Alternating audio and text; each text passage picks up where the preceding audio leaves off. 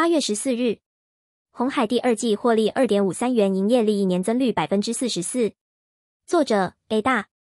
今天红海开出第二季财报，本业盈利跌破眼镜的好。也许会有人说，伟创、广达、英业达等 AI 概念股开的都比红海好，甚至觉得代工厂的人保及和硕也比红海好。我只能和大家说，很多事情是预期心理的。九天前，工业富联忽然开了一个快报，发布了上半年的获利。工业富联上半年营业收入两千六百六十点九亿元人民币，下同年增百分之二十八点六九，实现归属于上市公司股东的净利润八十七点四亿元，年增百分之二十二点零四。这看似是还不错。但工业富联第一季营收人民币一千一百八十六点八亿元，约新台币五千三百六十四亿元，年增百分之十二点零九，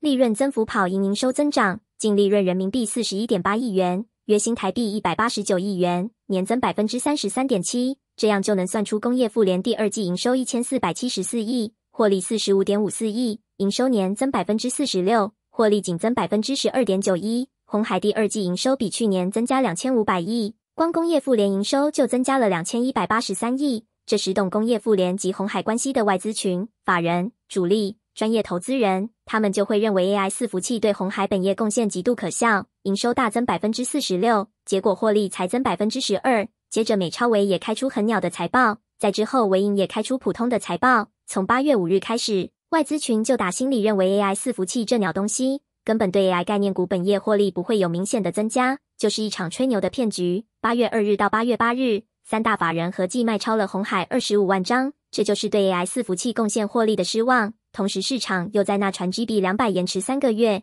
直到广达开出第二季财报，营收年增百分之二十六点五，营业利率年增百分之三十四点七，市场就惊觉是不是过度看空所有的 AI 概念股，所以隔天所有 AI 概念股就全部反弹。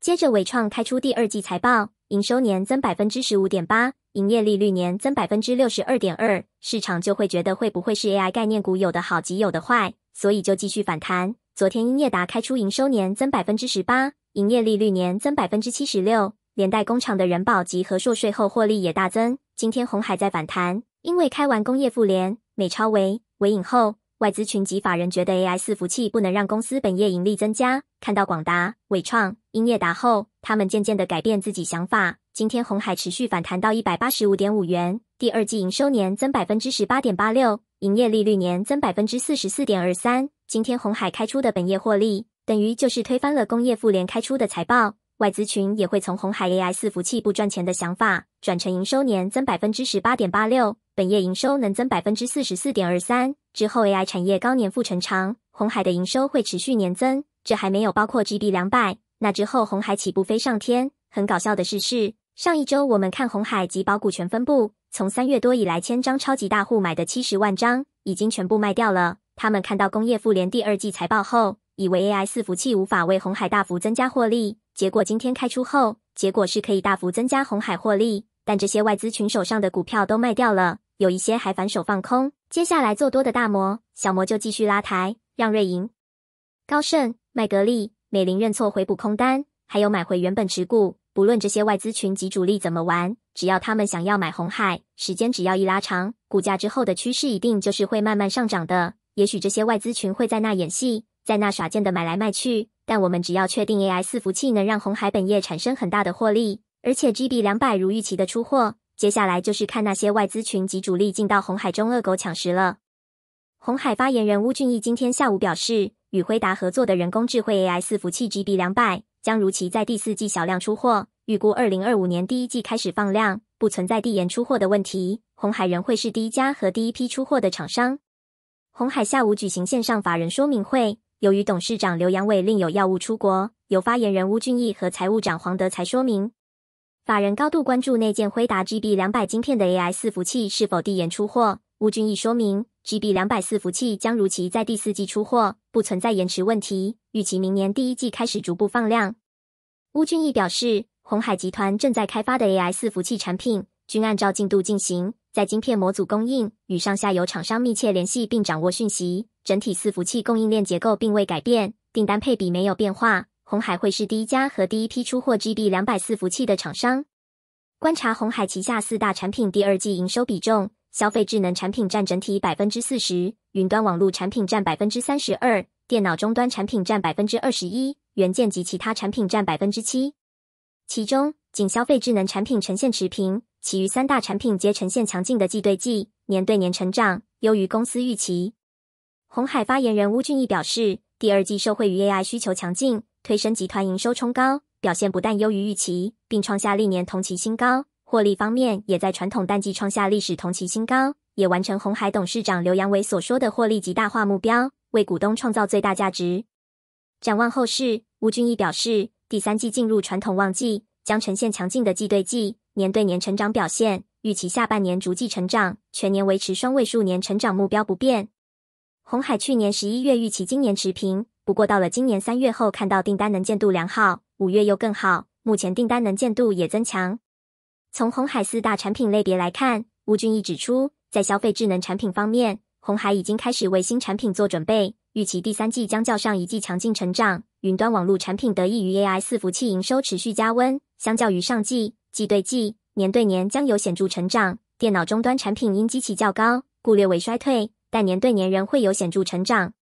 第二季 AI 概念股红海、广达、伟创、英业达财报都开完了，确定就是营收增加一两成。获利会增四到七成，这个趋势只要确定后，我们就能确定 AI 伺服器确实是能让公司获利增加。之前外资群及法人看到工业富联、美超维、伟影财报就开枪，后面证实就是错的。接下来 AI 产业年复成长率很高，AI 概念股营收会持续的增加，本业获利也会大幅度的增加。之前市场一直在那传 GB 两百会延迟出货的鬼故事，今天红海在法说会上也说 GB 两百会如期出货。本来瑞银、高盛、美林。麦格里看到工业富联营收大增百分之四十六，获利才增百分之十二，就在那看衰红海。现在红海开出本业营收增百分之十八点八，本业盈利大增百分之四十四点二三，等于就是打脸那些看衰红海的外资群、法人及主力。当初那些外资群及主力卖红海卖的有多狠，之后回补的就有多用力。瑞银原本看好 AI 伺服器能带动红海获利大增，结果半路看到工业复联而转弯，现在又看到红海第二季开出的财报。估计现在已经哭昏在厕所了。有一些人会觉得红海第二季最终获利二点五三元不好，会这样说的散户就是嫩。之前我有和大家说过，去年第一季夏普做重大资产减损，红海认列了两百亿的亏损，这些属于贬值的资产。红海家大业大的，既然有贬值的资产，自然就有增值的资产。去年第二季红海就在业外中的其他利益及损失这项去处分土地、厂房、机器设备，还有一些投资收入。合计赚了七十六亿，让整个业外大赚了一百六十七点八亿。今年第一季夏普一样做了重大资产减损，红海认列了一百亿，比二零二三年第一季少了一百亿。去年红海本业营收才三百零九亿，因为没有 AI 伺服器的加持，所以需要卖一些增值的资产。今年第二季红海业外才三十七点九五亿，比去年第二季少了一百三十亿，这里就差了零点七五元。这种一次性的获利，这对外资群、法人、专业投资来说没啥意义。比较专业的投资者看的是一个趋势，也就是 AI 产业年复成长性很高，每年营收会成长超过四成。专业的投资人要看增加的这四成营收会对本业获利有多大的影响。第二季就是一个很重要的观察指标。结果发现，第二季 AI 概念股营收都是增加约两成，获利增加四到七成。只要确定这一样之后，AI 产业年复成长很好，AI 概念股营收一直增加，获利就会增加的更快。这才是专业投资人在乎的那种一次性的获利。就是要去把增值的资产卖掉，充其量就是仅能拿来应急一下。就是当下普做了重大资产减损，打消不值钱的资产，红海在用升值的资产去补。毕竟红海是真的能透过营运去产生这么多的获利，当然就会用升值的资产去补贬值的资产。看得懂我说的这些话后，你就会知道未来外资群、主力及法人会积极的回头买红海，因为他们看完工业富联财报后，以为 AI 营收对获利没贡献。后面看到广达、伟创、英业达及红海开完后，发觉原来有贡献，而且贡献的很大。之后每一季、每一年 AI 伺服器营收愈来愈大，时间只要一拉长，能贡献的获利就会变得很惊人。大家按赞并留言，AI 伺服器能让 AI 概念股营收增两成，获利增加三到七成，时间只要一拉长到一年、三年、五年，甚至是七年，高复合成长率下的获利会非常惊人。文章主题内容如下：一。红海第二季获利二点五三元，营业利一年增百分之四十四。二、电子代工厂七月营收及第二季财报情况。三、红海的辉达 AI 伺服器 GB 两百延迟出货吗？今天外资群买超台股两百四十八点九九亿，投信买超台股四十四点二二亿，自营商卖超台股七十四点零五亿，三大法人合计买超台股两百一十九点一六亿。外资群期货空单减少两千六百八十五口，期货流仓空单三万三千两百零九口，三大法人期货流仓为空单七千零七十六口。今天台股成交四千一百零五点八七亿，上涨两百三十点六八点，涨幅百分之一点零六，收在两万两千零二十七点二五点。电子上涨十二点三九点，涨幅百分之一点零六，收在一千一百七十五点八六点。金融上涨二十五点七三点，涨幅百分之一点二八，收在两千零四十三点二七点。最近外资群在台股会是有买及有卖的情况，不会像之前这样常常在大卖。会这样的原因也很好懂，外资群买到的五千到六千亿，他们已经卖掉了五千多亿，手上就剩一两千亿。所谓的外资群是一群，也就是说。大部分的外资群都已经卖光了手上持股，现在手上很多钱，当然就是买的几率会比较大一些。现在外资群想要拿手上两千亿去把指数打下去，那就是以卵击石。台股已经连续上涨了几天了，也就是波段反弹了两千多点，对很多散户来说，他们的自信心又开始愈来愈强健了。当你赚越多钱，你自然就越不怕下跌。之前台股下跌了四千多点，很多人都已吐回获利三成多，有的则是赔两三成。这时，投资人心里面压力自然很大。最近台股开了一堆好的财报，有基本面当基地，很投资人的信心就会变更强。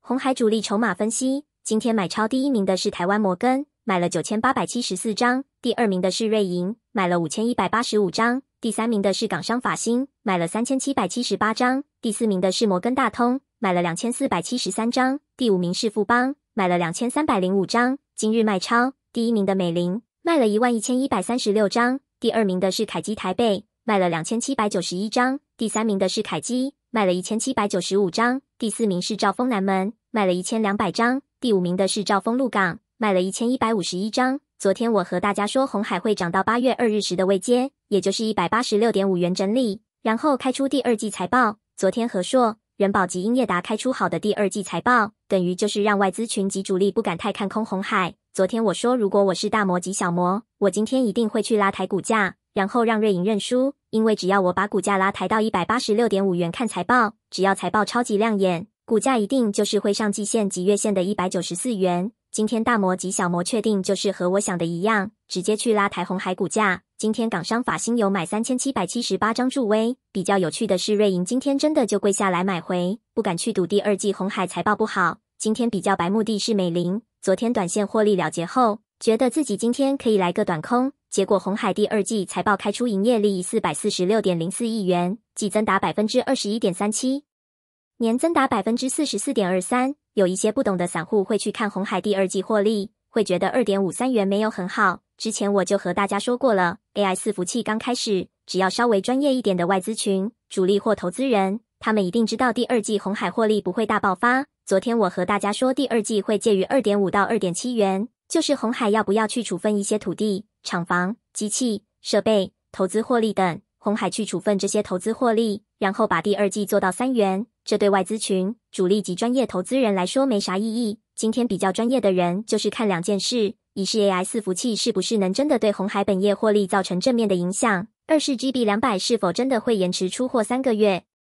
如果红海第二季一样去处分了八十亿的土地、厂房、机器、设备、投资获利，然后让第二季获利来到三元，这种处分的获利仅是一次。第一季夏普认列重大资产减损，红海要认列一百亿的亏损。红海只要在第二季、第三季、第四季处分个八十到一百亿，用资产升值去补贬值的资产，这样就可以了。大家看去年第三季红海获利三点一亿元，第四季获利三点八三元，这两季获利是夸张的高。红海目前还不确定 AI 手机、AI PC 是否能带来这么大的获利。毕竟苹果手机九月开卖，现在市场虽然看好，但卖的怎样，要等到开卖才会知道。所以处分获利就保留到第三季及第四季，让接下来两季一样能做到获利年增。对外资群、主力及专业的投资者来说，他们在乎的是长期能一直赚，而且要成长的获利。所以他们很在乎 AI 伺服器让营收增加，是不是能让盈利增加？第二季 AI 概念股的盈利都是开出大增的局势，红海的第二季盈利也是年对年大增百分之四十四，这就打破了工业富联第二季营收大增百分之四十九，获利仅小增百分之十二的利空。大部分的外资群、法人、主力专业投资者，他们看到工业富联营收增加百分之四十九，结果获利才增百分之十二，一定会对红海 AI 伺服器产生疑虑的。结果今天红海开出第二季营收增百分之十八点九六，盈利大增百分之四十四点二三。很多外资群及主力看到今天红海这结果，一定是会争着把卖出的红海买回的。第二个重点就是 GB 两百出货是否顺利。红海说一切如预期的进行，第四季小量出货，明年大量出货。未来如果还有新闻，媒体说延迟，你就直接在他们头上贴一个弱字。如果你连红海法说会上说的都不信，那你干脆就不要投资了。很多低级投机客就是买了较多，卖了较空，什么鬼话都说得出来。今天红海开出本业盈利好，GB 两百如预期出货，这就会让外资群加速买回之前卖出的股票。今天红海上涨四点五元。股价收在一百八十五点五元，红海股价近四个交易日上涨，合计上涨二十二元。之前我就和大家说过，短时间内外资群、投信、自营商卖这么多股票，一定会让红海股价超跌。之后只要外资群少卖一点，股价就会上涨；小买一点也会上涨。最近这四个交易日，就是外资群少卖一些及小买一些。另一方面，也是受到大盘台积电站回了八月五日大跌一千八百零七点前的位阶，广达、伟创、英业达、和硕。元宝开出第二季好的财报助阵，今天红海股价才能收在一百八十五点五元，也就是大跌一千八百零七点前的位阶。外资群今天买超红海一万四千两百四十六张。昨天我就有说过，如果我是大摩及小摩，我一定会利用英业达、元宝及和硕好的第二季财报，今天再拉抬股价，逼瑞银、高盛认输。瑞银已经卖掉了手上六万张持股，又放空了四万张，现在压力一定比山大。之前瑞银看好红海的理由。未来会成为杀死瑞银的理由。我常和大家说，你要中长线价值投资的话，你就不要在那买来卖去，不然你很有可能会在某一次的股价波动中被洗出去。如果你被洗出场就算了，最怕就是做错了还反着趋势去做。瑞银就是一个很好的例子。明明之前极度看好红海，结果红海股价从两百三十四点五元跌到一百六十元，瑞银就像是被鬼打到一样，拼命的一直卖，平均卖在一百六十八元。瑞银自己都没有看一下自己卖的位阶，差不多在股价净值比一点五倍左右。这让我想起二零二零年时的麦格利，他也是因为看错，在卖了几万张股票，均价在七十四元卖到七十二元，结果麦格利就以为自己是老大，就拼命的在七十二元狂卖，合计卖了五万多张。最终红海股价跌到七十元，股价跌不破就是跌不破。没多久，红海股价就从七十元一路涨到八十八元。这一次瑞银差不多也会是这样的下场。今天红海开出的第二季财报，等于就是打破了工业富联营收增百分之四十九，获利仅增百分之十二的迷思。大部分的外资群会想，工业富联是红海旗下做云端网络的，也就是 AI 伺服器的。红海第二季营收比去年增加两千多亿，完全就是增加在工业富联上。结果工业富联第二季才仅可怜的多赚二十七亿元，这还是把有利台币算进去才有这么高。瑞银大概就是这时候以为自己掌握了黑桃 A，觉得别人都不懂，只有他最懂。他觉得第二季红海营收增两千多亿，而且都是 AI 伺服器，结果获利才增加二十几亿。瑞银觉得自己放空一定是稳赢的，了不起就是撑到红海开完财报后，里面的散户、外资群、法人及主力就会向他跪下来。大家看附图，对瑞银来说，工业富联营收增加百分之四十九点六二，获利才增百分之十五点七八。获利增加二十七点七四亿，所以瑞银会去估第二季红海本业盈利三百五十一点六亿，最好的情况仅会是三百八十八点五六亿。瑞银觉得自己是专业的，掌握了先机，结果今天红海本业盈利开出四百四十六亿，大家有看到距离有多远了吧？第二季红海盈利增加百分之四十四点二三，所以红海第二季财报对得起营收增百分之四十九点六二，盈利增加百分之四十四点二三，瑞银瞬间王牌的黑桃 A，现在变梅花三了。瑞银原本会想，最近辉达传出 GB 两百延迟三个月出货，这就会让红海获利爆发的时间往后往移到明年。瑞银觉得只要趁着第二季红海很烂的财报开出后，接着往死里打，之后就能开始减尸。结果没有想到，红海说 GB 两百按照预期的时间表出货，第四季小量出货，明年大量出货，等于瑞银的王牌都没了。剩下的就仅剩瑞银当初很看好的理由，也就是 AI 四服器会让红海本业获利大增，GB 两百会让本业盈利爆炸性成长。确实，瑞银看的是正确的，但就是因为过程中自作聪明，看到工业妇联财报后，觉得自己掌握了先机，手上有黑桃 A，觉得自己是最正确的。当瑞银卖了手上六万张后，心中一定会觉得，怎么红海中的散户都这么愚蠢？这么简单，工业富联财报不会看你，觉得自己是有受过专业训练。看得懂财报，也推得出红海第二季财报会很烂，结果人算不如天算。我和大家说，昨晚我拿二零二二年第二季工业妇联财报和二零二四年第二季相比，记得在二零二二年第二季时，我也是看完工业妇联财报后，觉得二零二二年第二季红海财报会很差，结果开出来跌破我的眼镜。我和瑞银最大不同的点在于，我不会在那买来卖去的玩短线，也不会认为掌握了这些资讯就能先高卖低买好轻松。所以那时我就算看错了，我手上还是欧印红海，也没有卖股票，更不用说放空红海。这就是我和瑞银不一样的地方。这一次红海开出第二季的财报，会让很多看得懂工业妇联及红海关系的人跌破眼镜。以今天红海在法说会上公布的本业获利增百分之四十四点二三及 GB 两百如期出货。这会让之前卖出红海的外资群及主力加速回来补货。目前散户的成本大概在一百九十四元，外资群及主力可能未来就是会在一百八十到两百二十元去骗散户手上的股票。一般来说，应该是在两百元时能骗到一些股票。毕竟散户是套牢能抱永远，解套马上卖。两百元卖的话，散户能大赚五元差价。昨天深夜我有发了一篇文章。比较二零二二年第二季及二零二四年第四季的获利情况，大家可以看二零二二年红海第二季营收一万五千零九十八亿，工业妇联营收五千三百三十四亿，获利一百五十六点四八亿，毛利率百分之六点二七。结果红海毛利率百分之六点四，营业净利四百四十三点四亿，那时的台币是二十九点四元。二零二四年第二季红海营收一万五千五百一十八亿，工业妇联营收六千五百八十二亿，毛利率百分之六。获利两百零三点五六亿，这两季红海及工业妇联营收及比例是不是很像呢？重点工业妇联是二零二四年第二季还比二零二二年第二季获利增加四十七亿，所以说红海明天开出毛利率会比较差，那也不一定。二零二二年第二季因为没有第一季夏普做重大资产减损，所以业外也不会努力的追赶，仅来到二十六亿。如果二零二四年第二季和二零二二年第二季一样的情况。红海明天毛利率说不定还能高过二零二三年第二季百分之六点四一，一样达到三率三升。二零二四年想要做到盈利率升级、获利提升很简单，有手就行了。想要做到毛利率升，那就要和二零二二年第二季一模一样的情况。想要红海第二季获利出现令人掉下巴的好，业外收入一定要高过一百亿，大家才有机会掉下巴。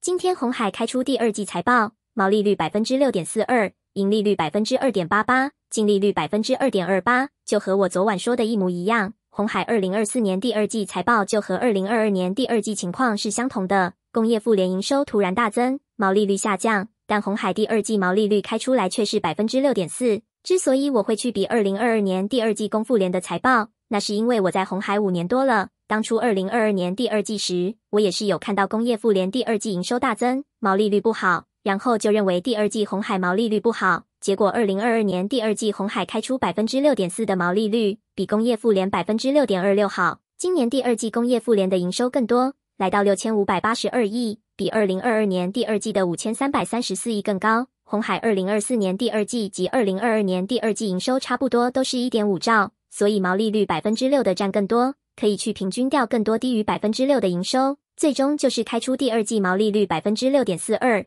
盈利四百四十六亿。比二零二二年第二季盈利四百四十三点四亿高。昨晚我就说过，去年第二季红海其他利益及损失中处分了不动产、厂房、机器设备及投资获利，合计赚了七十六点七亿。这是为了去补二零二三年第一季夏普打消无形资产去做的处分，也就是我说的用升值的资产去补贬值的资产。在二零二二年第二季，不动产、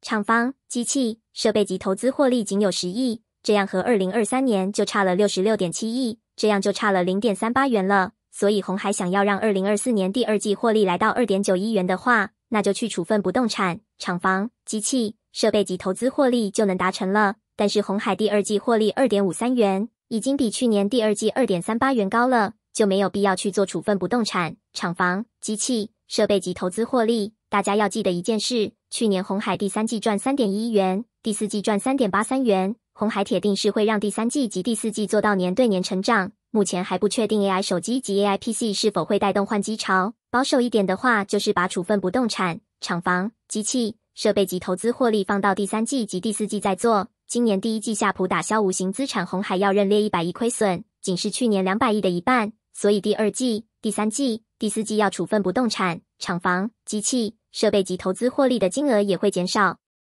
和硕第二季营收两千五百三十七点一五亿元，季增百分之一点三，年减百分之九点六，毛利率百分之四点六，季增百分之零点四，年增百分之零点八，营业利益二十九点三六亿元，季减百分之二点九，年减百分之三点八，盈利率百分之一点二，与首季持平，年增百分之零点一。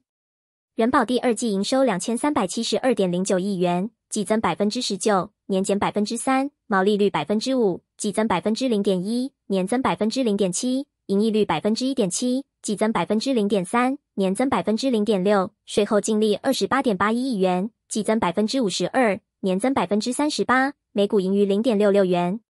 英业达第二季财报，第二季营收一千五百四十一点五九亿元。季增百分之十八点一二，年增百分之十七点九九，毛利率百分之五点零三，季减百分之零点二四，年增百分之零点四二，盈利率百分之一点六九，季增百分之零点零五，年增百分之零点五六，税后净利十八点一亿元，季增百分之六十六点三，年增百分之三十点二五，每股盈余零点五元。广达第二季营收达三千零九十九点五四亿元，季增百分之十九点七。年增百分之二十六点五，毛利率百分之八点五八，季增百分之零点一，年增百分之零点零六，盈利率则为百分之四点九一，季增百分之零点三九，年增百分之零点三，税后纯益一百五十一点二八亿元，季增百分之二十五点四，年增达百分之四十九点四，每股税后纯益为三点九二元。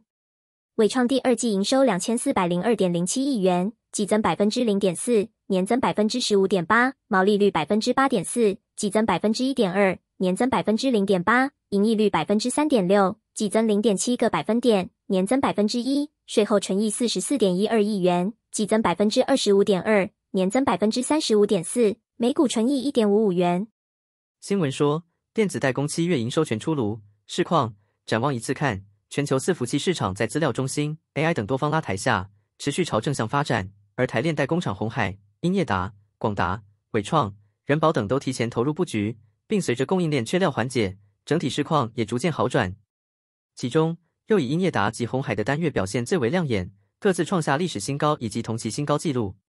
一、英业达近日公布七月合并营收五百五十五点三三亿元，月增百分之九，年增百分之三十二点八，创下历史新高纪录。合并今年前七个月营收达三千四百零一点九八亿元，年增百分之十六点二，超出市场原先预期数值。展望未来。内部看好，今年营运表现有望达到逐季成长，其中旗下伺服器的出货表现也将持续成长，有望达到季季成长的佳绩。未来展望，对此，英业达墨西哥华雷斯新厂已于七月下旬落成，并成功为其新增一整条伺服器与车用电子产线，就近服务北美客户，也将自今年起实质挹注营收成长。而下半年与辉达合作的 Blackwell 系列产品也即将正式启动。展望未来。有望助英业达全年伺服器整体出货量达到年增百分之二十的佳绩。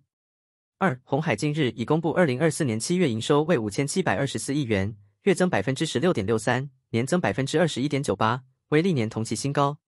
该公司今年前七个月营收为三点四四兆元，年增百分之六点五四，为历年同期新高。其中，消费智能产品类别、元件及其他产品类别月对月强劲成长，电脑终端产品类别月对月显著成长。云端网络产品类别月对月约略持平表现。展望未来，红海表示，AI 伺服器产品需求高于预期，整体出货的能见度将有望优于先前预期。此外，红海强调，基于目前已经进入下半年旺季期间，营运将逐渐加温，展望第三季营运将会有季增及年增的表现。三，代工大厂广达公布七月合并营收一千两百四十二点六三亿元，月增百分之十一点六，年增百分之四十三，成年月双增态势。单月营收表现不仅连续三个月维持向上成长，也代表广达已正式坐稳千亿大关的规模。而合并累计前七个月营收达六千九百三十一点五七亿元，年增百分之十五点九，也冲上全年最高点。展望未来，预估在 AI 伺服器的持续出货之下，其整体成长的脚步也将会越发加速。未来展望，展望市场发展，广达资深副总经理暨云达总经理杨麒麟日前也透露，下半年将会迎来相当旺盛的情况。今年很大部分成长的部分都聚焦在 AI 伺服器，而董事长林百里则也看好广达在二零二四年将能成 AI 的大风，破除万难继续向前，继续坐上龙头宝座。四伟创已公布七月单月合并营收八百六十一点九亿元，月减百分之二点九，年增百分之二十七点三，表现处在市场水准之上。合并前七月营收达五千六百五十四点四九亿元，年增约百分之十六点三。营收表现虽较上月微幅下滑，但仍缴出近半年的第三高水准，表现亮眼。伟创近年积极布局发展 AI 领域，同时拿下辉达、AMD、Intel 的代工订单，带动整体涨势飙升。而伟创也被市场被点名为防御性 AI 概念股，吸引投资人关注。未来展望，对此，伟创则预计于十二日发布第二季财报，而受到缄默期限制，管理层面对未来展望仅简短表示，相较于第二季、第三季笔电出货可望持平或小幅成长，桌机出货将季增双位数百分比，显示器则未持平，AI 伺服器出货季增双位数百分比。通用型伺服器出货则将季对季持平。五代工大厂人保已公布七月营收为七百六十四点四亿元，月减百分之七点五，年减百分之九点九，累计前七个月合并营收为五千一百三十二点二亿元，年减幅度达百分之四点六。虽然人保单月营收表现略微下滑，不过市场普遍仍维持乐观看法。其中，投信截至上周五已连续获押宝买超长达七个交易日，总张数约达一点五万张，而同日外资也同步买超达一千六百八十二张。也带动股价收复三十元关卡，后市表现引发关注。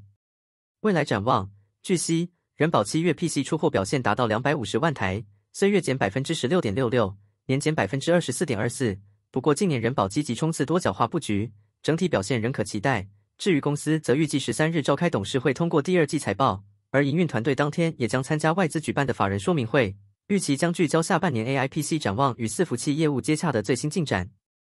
今天红海开出第二季法说会，盈利年增百分之四十四点二三，和其他电子代工厂一样的亮眼。英业达盈利年增百分之七十六，广达盈利年增百分之三十四点七，和硕盈利年减百分之三点八，伟创盈利年增百分之六十二点二。从电子代工厂股可以得知，有 AI 伺服器的营业利益都大幅度的年增，这代表 AI 伺服器确实能带动公司获利的增加。现在 AI 伺服器才是刚开始的阶段，本业盈利是一个很重要的指标。对外资群及主力来说，他们根本不在乎第二季这些公司是多赚零点二元还是一元，这不是很重要。他们看的是一个趋势，也就是 AI 伺服器是否能对公司本业盈利产生大幅度的贡献。如果可以的话，未来 AI 产业持续发展，年复成长率很大，那 AI 概念股的获利就会愈来愈高。第二季我们看完红海、英业达、广达及伟创的本业盈利后。就能确定 AI 伺服器对这些公司获利确实是有贡献，而且是全面的提升。这也符合之前我说的，一开始 AI 伺服务器还在蓝海阶段，所有的公司都能产生获利的增加。这是外资群在第二季各家 AI 概念股中能确定的一个重要因素。除了这个因素外，另一个对红海很大的因素就是 GB 两百是否会延迟出货。红海法说会，GB 两百延迟出货吗？红海表示，如其第四季小量出货。市场传出辉达 Blackwell 绘图处理器延迟出货，对此，红海十四日在法说会上回应，GB 两百伺服务器将如期在今年第四季小量出货，明年大量出货，且订单配比并无变化。红海一定是第一批出货厂商。法人关注 GB 两百伺服器出货进度是否会延迟呢？对此，红海发言人邬俊义指出，目前开发 AI 伺服器产品进度如期进行，会持续关注 GPU 供应状况，生产端已做好量产前准备，不论生产时程变化。红海还是会第一批生产的厂商，目前预计今年第四季小量生产 GB 两百伺服器，明年大量出货。邬俊义强调，GB 两百伺服器将如期在第四季出货，且订单配比并无变化，红海一定是第一批出货厂商。他说明，上半年 AI 伺服器占整体伺服器业务营收比重已超过四成，就算 GB 两百十成有变，对红海 AI 伺服器展望也影响不大。目前来看，今年 AI 伺服器营收还是强劲增长。红海维持逐季成长态势。此外，吴俊义表示，以现有产品来看，辉达 H 一百、H 两百晶片相关 AI 伺服器产品是带动今年上半年营运增长主因。现在来看，H 系列需求也比之前还好。红海集团第二季 AI 伺服器营收季增超过六成，占整体伺服器营收占比达到四成以上。红海结合云与网的能力，成为目前唯一具备完整 AI 供应链垂直整合能力的供应商，可以为客户提供完整的解决方案。邬俊义表示，预期 AI 伺服器的强劲需求会持续，维持 AI 伺服务器将贡献今年伺服务器全年营收四成的看法不变。同时，已经看到不同类型的客户对于新一代 AI 机柜解决方案的强劲需求，预期将会为红海二零二五年的伺服务器营收带来显著贡献。相信 AI 伺服务器很快可以成为红海下一个兆元营收的产品。A 大回答：之前外资群及主力在杀 AI 概念股时，就是以 GB 两百会延迟三个月为理由。还有另一个理由，就是看到工业富联第二季营收大增，获利增加不如预期。美超为财报很鸟，微影财报普通，接着外资群及主力就一直卖，每天卖，卖不停。后面广达开出第一季亮眼财报，外资群及主力才意识到原来 AI 伺服器不一定获利不好。接着伟创再开好的财报，认错的外资群及主力就更多了。昨天英业达也开出好的财报，台湾 AI 概念股每一家开的都不错，就连代工厂的人保及和硕也开得很好。今天又有新的外资群及主力认错，红海下午开出第二季财报，毛利率高达百分之六点四二，让原本一些看工业富联毛利率，然后觉得红海毛利率会很差的人跌破眼镜，如美林、瑞银之类的外资群。红海第二季本业获利很亮眼，因为本业获利太亮眼了，所以第二季红海就不去做处分厂房、土地、设备、机器、投资等增加获利，所以第二季红海业外就仅有三十七点九五亿。对外资群及主力来说，红海如果第二季把业外做的和去年第二季一样，也就是一百六十七点八亿，也就是处分厂房、土地、设备、机器、投资等增加获利，这样红海第二季确实能赚到三元左右。但这种一次性的获利，这对外资群及主力来说是没有意义的。红海股价从一百零五元涨到一百八十五元，外资群及主力看的绝对不会是处分业外，然后多赚个零点三到零点五元。外资群及主力看的一定就是 AI 伺服器是否能对本业获利造成有利的贡献。大家想一件简单的事：AI 产业年复成长很大。如果一开始红海卖了 AI 伺服器，结果本业获利增加一点点而已，那之后 AI 伺服器营收增加，那对本业获利贡献也不大。所以这一次 AI 概念股开完第二季财报后，我可以把广达、伟创、英业达、红海的营业利益做一个比较。大家应该要知道，营业利益就是卖产品赚到的毛利。然后再扣营业成本后得到的获利，只要这一项获利大增，代表 AI 伺服器对 AI 概念股的贡献很大，而且这种获利是会持续的。更重要的是会随着高度年复成长而增加，这才是外资群及主力看重的。一季多赚零点五元，下一季能因为 AI 伺服器多赚零点七元，再下一季因为 AI 伺服器多赚一元，几年下来后获利就会很可观。这一次 AI 概念股开完第二季财报后，就能确定 AI 伺服器对 AI 概念股的贡献。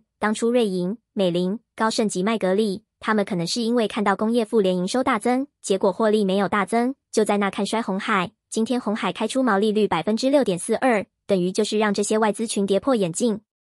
再加上前一阵子市场在谣传 GB 两百会延迟三个月出货，身为最主要供货 GB 两百的红海来说，就是一个利空。结果今天红海法说会上说到，GB 两百会如期出货，也就是第四季小量出货，明年大量出货。所以现在的红海又回到外资群卖超几十万张钱的情况了。卖超的外资群及主力接下来就要去烦恼要怎么去回补卖出的红海股票，至少是有六十几万张的买盘。有一些散户看到红海第二季获利二点五三元，觉得没有很好。这种人根本就不懂外资群及主力的想法，他们要的不会是第二季红海多个零点三元或零点五元的获利，他们要的就是未来 AI 伺服器真的能带动获利，GB 两百要能如期出货。几年后，红海的获利会爆发到十二元、十四元、十六元、十八元、二十元之类的。外资群是知道 AI 伺服器年复成长性很大，只要外资群确定 AI 伺服器能带给公司获利的增加，这样就足够了。